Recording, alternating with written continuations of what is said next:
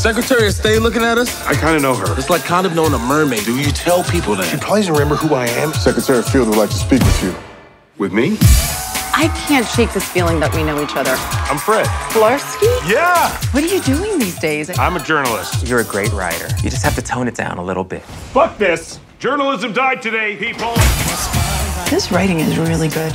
Bringing someone like that onto the team feels a little reckless. That's prescription for anxiety. I need some writers to punch up my speeches. So are you in, or do you have something more important to do?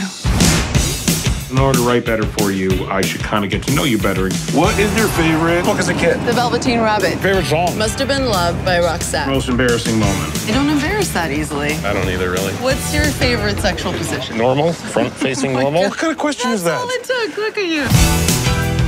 Do you like date? I mean, who wants to follow me around the world and hope I have five minutes to be affectionate? Yeah.